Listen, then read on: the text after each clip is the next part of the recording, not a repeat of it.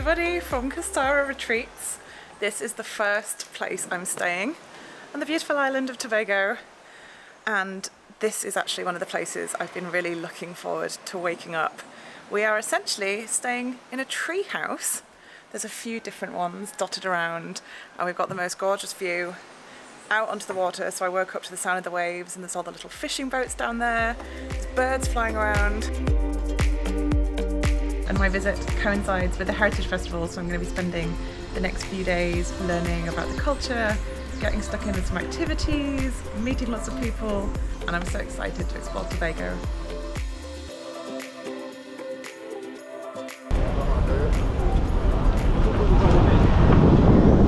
It is Sunday morning and we have just driven to Pigeon Point because we are getting on a boat today.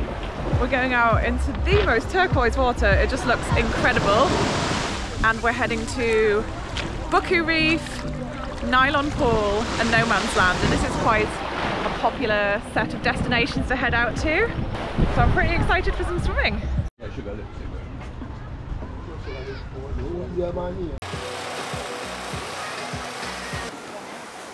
Also, we free to go upstairs because we are.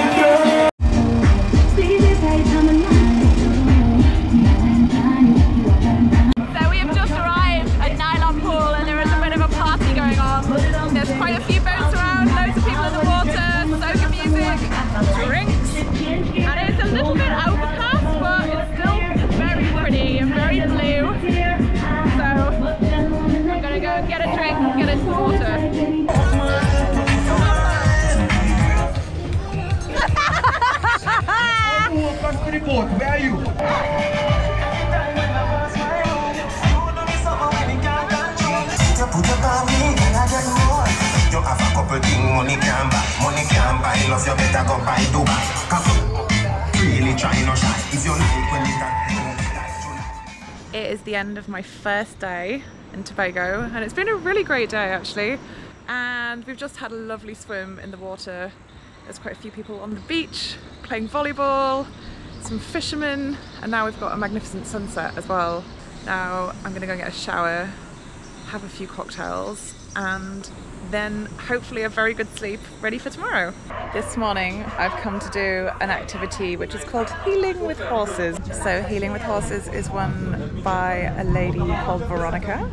She's a German lady who moved to Tobago about 17 years ago, married a local person here and now she runs this wonderful NGO and we just had a very nice experience where basically the horses came to choose us. And this is King, and King picked me.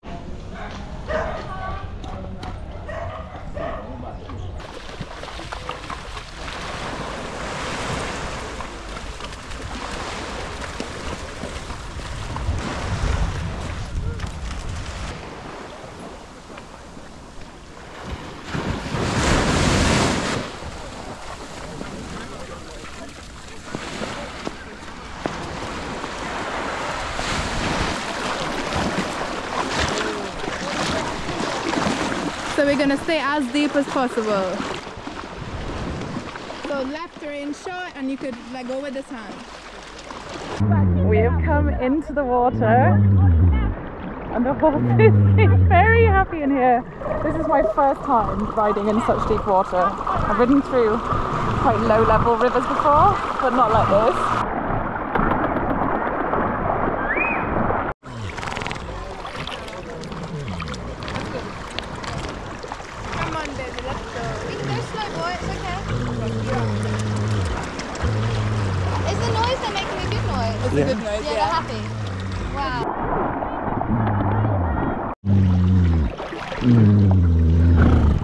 I have been very much looking forward to today because we have come out into Main Ridge Forest Reserve, which is obviously a rainforest area, nearly a thousand acres.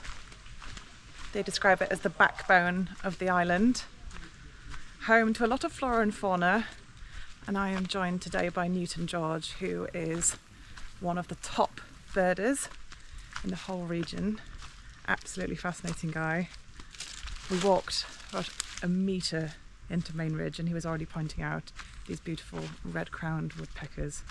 So I know I'm going to enjoy this morning. all right? And it is the oldest protected rainforest in the Western Hemisphere. It was established in 1776, and this was done by the French. Well, I think the most sought after bird on this island is the manakin. What you hear in calling there right now, we might see one down the road. The blueback manakin, but we also have the trogons.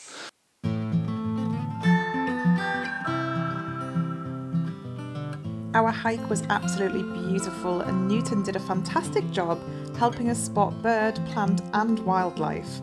He then even invited us back to his front porch, where the feeders attract hundreds of beautiful hummingbirds every day.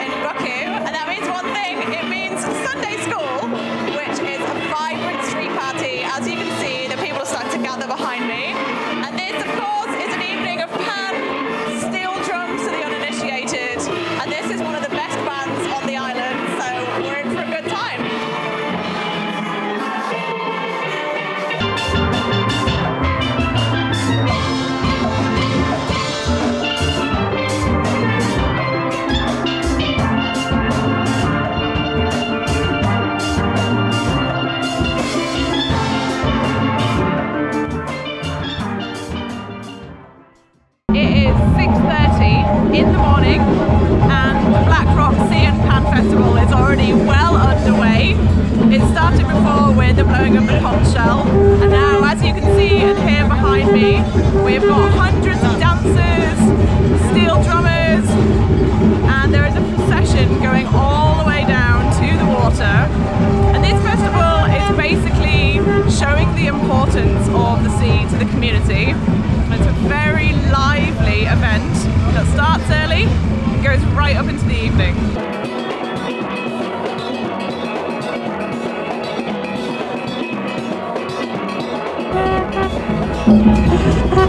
We are nearly down in the water. You can hear the conch shell to the side of me, the drums in front of me.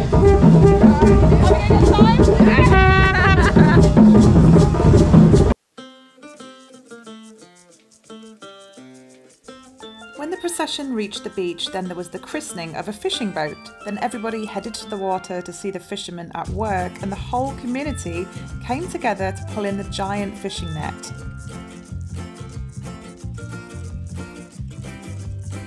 And then the catch was shared out and grilled up for everyone to eat. It was a fantastic experience.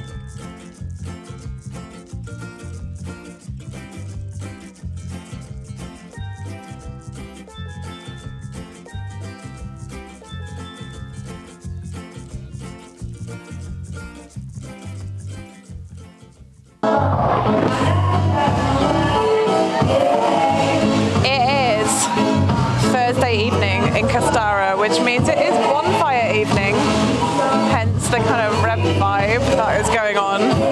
We're down on the beach, and they have got one big bonfire in front of me, and there's another one about to be lit. It's kind of a very mellow vibe. There's music, drinks, but people are just chilling out.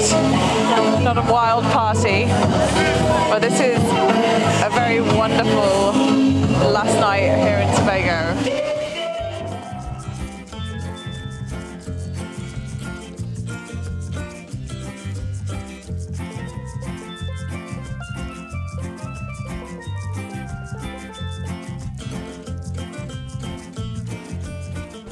It is my final morning here in Tobago, so I'm going to be spending the next few hours relaxing at Coco Reef, which has its own private beach, which is very lovely, especially on a day like today. And it's been the most brilliant week, actually. Perfectly timed with the Heritage Festival, so there has been so much to see and learn about and people to chat to. And it's probably a bit of a cliche to say, but Tobago definitely has something for every type of traveller really.